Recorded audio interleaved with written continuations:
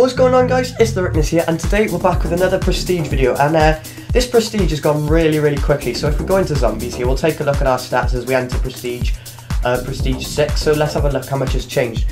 4 days played, 20 hours, 16 minutes and 25 seconds, 85,718 kills, round survived 2,989, average rounds a game is still 10, headshots 24,567 and uh, let's take a look on the leaderboards. My new highest round for Shadows of Evil is round 49.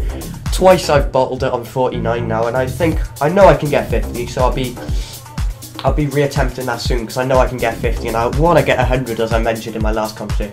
Giant, my highest round is still 28, so I would like to get to maybe 50 on that as well. But let's take a look at these kills.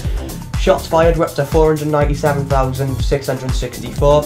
Shots on target, 456,693. Which ain't too bad, because we don't miss too many shots. I mean, in perspective, that's not that bad. Headshots, I covered 24,000. Doors opened, 853.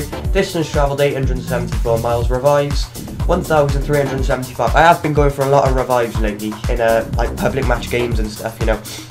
Because I used to do that on farm when I got 220, 226, I saw them, I did that, uh, 243 I got in one game, so yeah, 15,708 grenade kills, perks used, 981, so, let's enter Prestige, is there anything else we can look at? It might be, there we go, yeah, deadliest weapon is the Vesper, because my new strategy for Shadows of Evil relies heavily around the Vesper and using the Blast Furnace. Uh, highest round, yeah, 49. And most used gobblegums, in plain sight, arms grace, dead of nuclear, pop shocks, cashback, killjoy, aftertaste, unquenchable, imitation, immolation, liquidation, on the house. And uh, yeah, let's jump into, wait, permanently unlock. I know what gun I want to unlock. I want to permanently unlock the Haymaker because that is a, that's the sun of my stars when I play with randoms, honestly. How do I, um, have I permanently unlocked it already?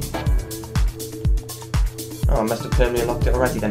But yeah, that's the sun of my stars when I, uh, let's just unlock it. Doesn't really matter. And uh, yeah, we're out to enter Prestige 6. But yeah, the Haymaker is my sun of my stars when it comes to playing with randoms because it's so good.